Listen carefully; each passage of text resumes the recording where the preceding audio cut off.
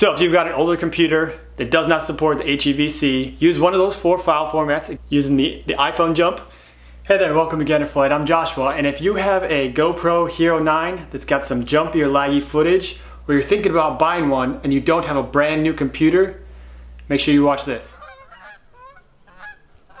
Alright, so I just got this GoPro Hero 9. I took some test footage with it, played around with some settings, loaded it on my camera, and hit play. Now this is a screenshot from my camera, so don't take the, the audio quality and the video quality as being GoPros, it's the screenshot. But this is what it turned out like when I tried to play it on my computer. Hey there, Joshua here from Gander Flight. Just got this GoPro Hero 9. Just turn it on to check out my video settings and test the audio. So as you can see, it's super laggy, super jumpy. It's just, it's, it's unusable for me. I can't load that file on my computer and then go and edit it to create a video. What it turns out to be is the HEVC file that GoPro natively writes to their, their video files to is a, is a newer format and it's better. But however, my, my computer doesn't support it.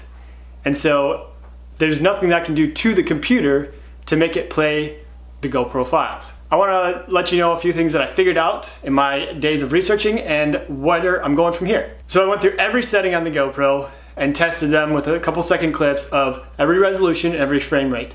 And I found out that not every file is HEVC. So if you go into the resolution setting and you hit most compatible, there are four settings that will allow you to record in the H.264, which is something that'll play on older computers.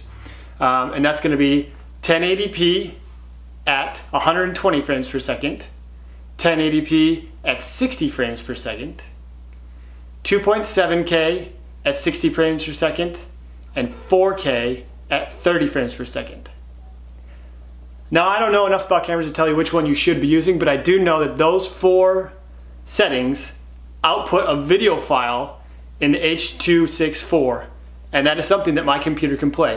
All right, so what do you do if you already took footage with your GoPro 9? It's in that HEVC file format and you need to edit it on a computer that doesn't support it. Well, what GoPro recommends is downloading the Handbrake software. It's a free software that you can get for Linux, Mac, and Windows. And you basically take the file, load it into this program, select the file that you want to come out as, and then it will transcode it so that your computer can read it. Trouble is, it takes quite a long time. So um, if you don't need to have 5K footage, go ahead and select one of those four that offer a H.264 file format, and then you'll be able to skip the whole process.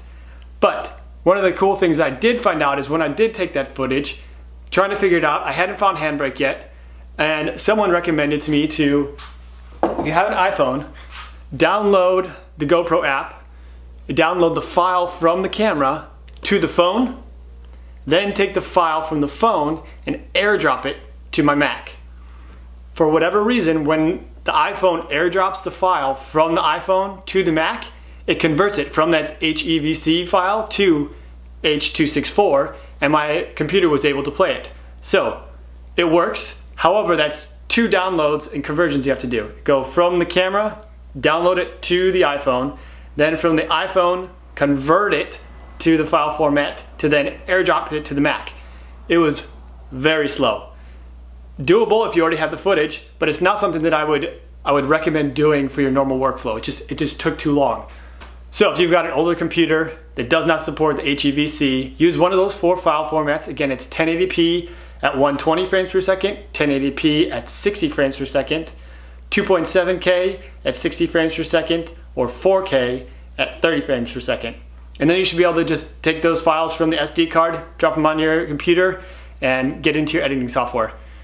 If not, if you've already got the files in HEVC and you need to convert them, consider Handbrake um, on your desktop. Or if you've got an iPhone and Mac, download it to the phone, then airdrop it to the Mac, and it'll convert it for you.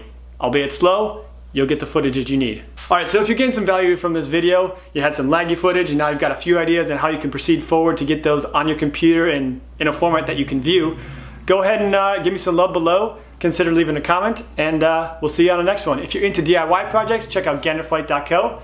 We'll catch you on the next project. Take care and pay it forward.